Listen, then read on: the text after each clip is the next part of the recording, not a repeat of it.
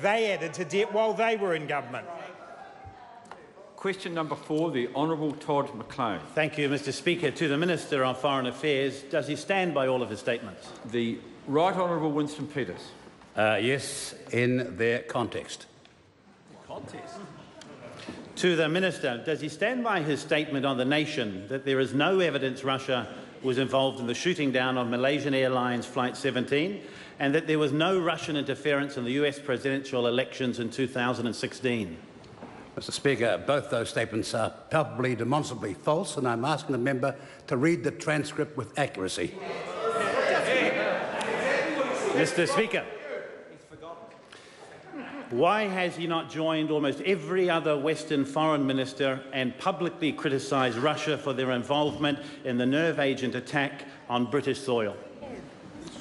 Mr Speaker, we have done that on countless occasions so much that the Prime Minister of the UK, Theresa May, contacted us to thank us for our support, uh, and, uh, and other members of her cabinet as well. Uh, point of order, Mr Speaker. Point of order. I seek, point of order, the Honourable Todd McClay. I seek leave to table a statement from Friday of last week uh, that has uh, only quotations from the Prime Minister in it, not the Minister of Foreign Affairs criticising the Russian Is government. a member seriously suggesting that he wants to table a government press statement? well, point of order, the, Mr. Speaker. Will, Speaking of the point no, of order, no, I no, would have member, thought it was quite no, clear. The mem- no, the member will resume his seat. Um, the member knows that that's out of order and unacceptable to the House, and if he tries again, I'll regard him as trifling with the chair. The Honourable Todd McClay. Well, point of order, Mr Speaker. It's a new point of order. A I seek leave to table a statement that's on the government website uh, uh, that has been changed since the Prime Minister released it on Friday of last week. Is there any objection to that?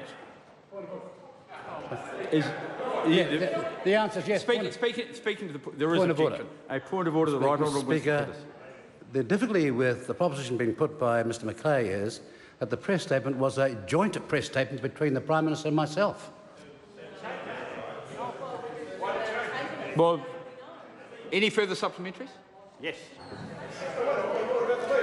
Point of order, Mr Speaker. No, You're it not was, putting it leave. was turned down. I was turned down, thank you.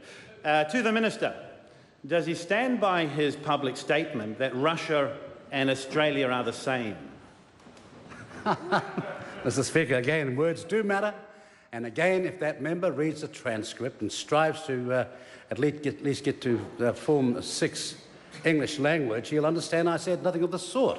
What I said was that we have differences and a range of differences with countries all over the world. And if we were to take them to extreme, we would not be trading with anyone and our people would be so much poorer off. All I ask to be by others as well is to be quoted properly. To the Minister, can he explain to the House his preoccupation, in fact, his infatuation with Russia? Order, order. Member, I'm, ha- I'm happy to do that. Speaker, please. no, the, the, the, quest, the, quest, the question is out of order. Can I just say, Mr Speaker? No, no, is it a point of order? It is a point of order, Mr Speaker. Well, if you want me to protest about Uh, those statements, I want to just say this, that in March the 27th last year, this order, question, order, this order. issue Can- was... Sorry, I'm, I'm going to interrupt the Deputy Prime Minister for a minute to remind members on my left that points of order are heard in silence. If they, if they think that they aren't points of order, when they are completed, they can say so, but not during them. The Mr. Right Honourable Winston Mr Peters. Speaker, when this was said last year in March, do we, want a, do, uh, do we want to do a deal with Russia? Yes, we do. Or National will push for greater access for Kiwi business to Russia? That's August the 22nd, just before the election. That's hardly being in love with any country, but trade itself. Point, Speaker. Right. Point of. I'm, I've got a point of order to rule on first, I think, and I am going to rule that there's not a point of order there. And the member might have put some. There's no such thing as the right honourable gentleman knows well. Uh, Mr Speaker, Um, Ms Bennett, would you like to stand up and say that out loud? If you'd like me to, Mr Speaker. I Well, I, I'm, I'm just trying to trying to make clear whether the member has a point she'd like to make Yep, or whether point, she just sort of contribute by be that- interjection in front of the lead, the shadow leader of the House. Well, just my point, um, Mr. Speaker, would have been that we shut down pretty quickly if you think it's not a point of order. Um, in fact, very quickly on this side of this House. Well, I, I, I thank the member for her advice, and if she'd been quieter to start with, it would have been shut down earlier. The Right Honourable Gerry Brownlee. Mr. Speaker. Point of order. The, right, the Honourable Gerry Brownlee. Sorry, I promoted the member. That's right. Well, it's an unusual thing for me these days, but. Um, so I, uh, I thank you. Now, look, um, you've just ruled out the question by the Honourable uh, Todd McClay. Yes.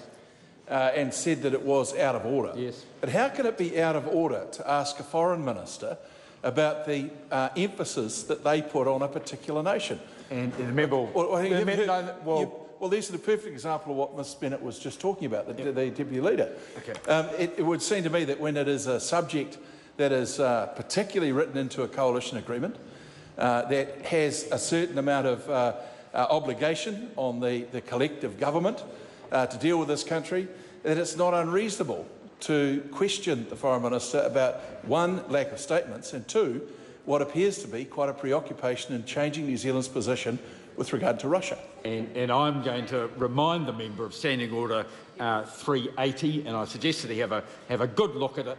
And I. Um, and the National Party will have an additional two supplementaries uh, now because of the interjection from my right. Uh, but, but I, think, I think Mr Brownlee knows as well as Mr McClay that that question, that supplementary question, was out of order. Are there any further supplementaries, Mr McClay? Right. Question number five, the Honourable Paul Goldsmith. Mr Speaker, my question is to the Minister